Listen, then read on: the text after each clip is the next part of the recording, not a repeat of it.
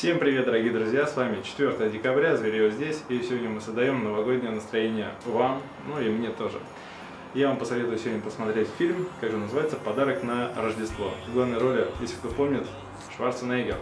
Дальше в ролях Симбад, его зовут просто, представляете, Симбад, и Фил Хартман. Значит, смысл в чем? Два семейства, двое пап, и каждый для своих детей хочет сделать самое лучшее Рождество чем у другого. Вот, это Кайр Симбад и Шварценеггер. Вот. И фильм идет одна, полтора часа, полтора часа. Производство США, конечно. А, ужасно занятый на работе отец, постоянно опаздывает на семейные предприятия, после очередной неудачи хочет приобрести супер игрушку для своего сына. И тут и начинается игрушка там, игрушка здесь, все гоняются за игрушкой, Рождество, везде все отмечают, и в итоге вы должны тоже создать себе новогоднее настроение. Ну, как-то так. Всем спасибо, всем пока.